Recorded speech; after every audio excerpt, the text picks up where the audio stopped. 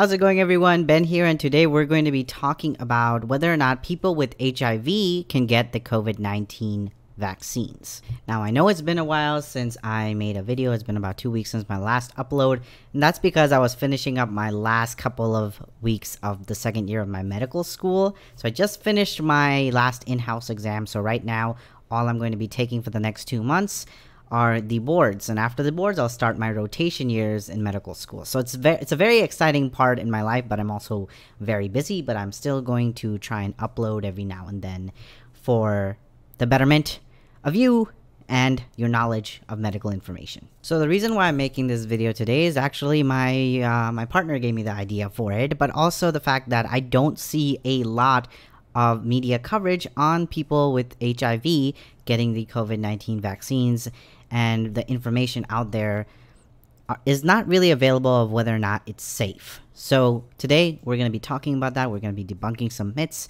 And the TLDR is if you have HIV, you should absolutely consider getting the COVID-19 vaccines. Now, all the information that I'm going to present to you in this video can be found at the CDC website on HIV populations and the COVID-19 vaccines, but also the HIV Medical Association website. So if you want a written version of everything that I'm going to spew out, definitely check out those websites. So when it comes to being an HIV patient and vulnerability to COVID-19, it really depends on whether or not you have access to HIV treatments, which is very expensive.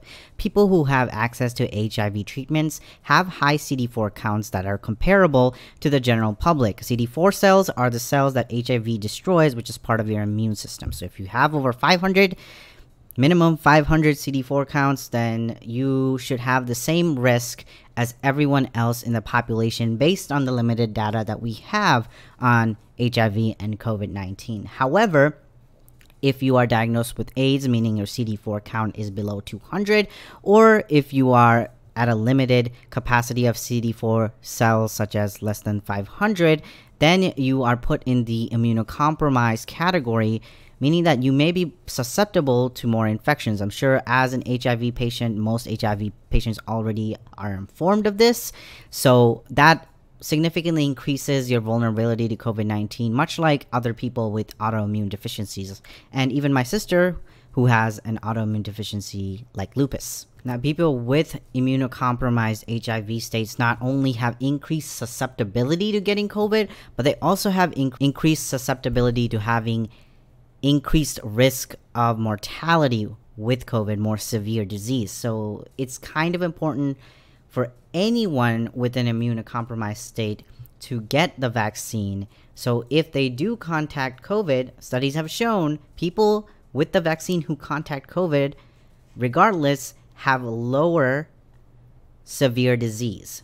So that's why it's very important to get the vaccine if you are immunocompromised. Another awesome thing about the COVID vaccines is that with most HIV immunocompromised patients, they're discouraged to getting live vaccines. Live vaccines mean it's a weakened version of the original pathogen that infects you and your body develops an immunity to it. For for most healthy people, but with immunocompromised people, it makes them more susceptible to actually getting sick from it such as the nasal flu vaccine is actually a live vaccine. My sister who has lupus is actually discouraged from taking that specific vaccine because it's a live vaccine.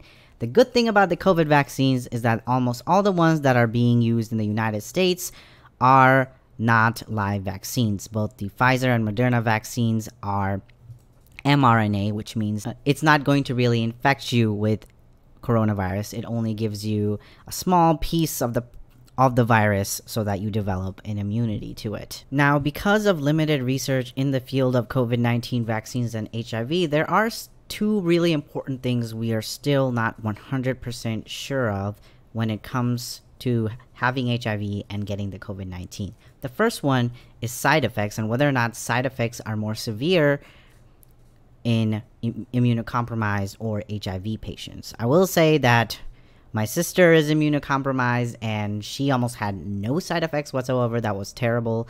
But my very, very healthy other members of the family had more severe side effects. But there's not enough research on how on how side effects vary among HIV positive patients, but you can kind of expect the same kind of side effects you would get compared to a non HIV patient, such as soreness in the arm spot. The second dose is obviously more terrible than the first one. You might feel sick, you might get stomach aches, you know, might get feverish, might get chills.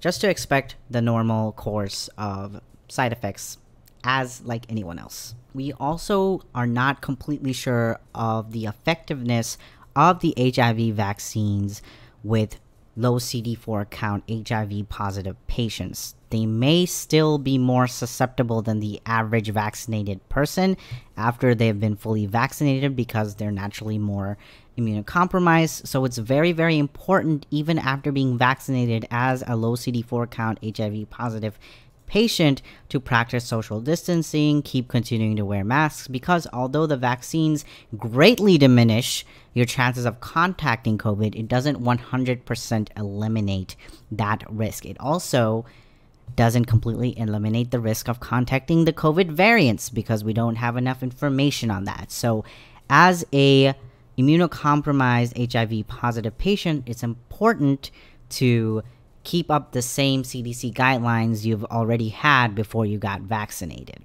Anyways, that's pretty much it for all the information I can provide to you as of right now, asterisk, because so little information is out there on HIV and the COVID 19 vaccines and HIV and COVID vaccine in general.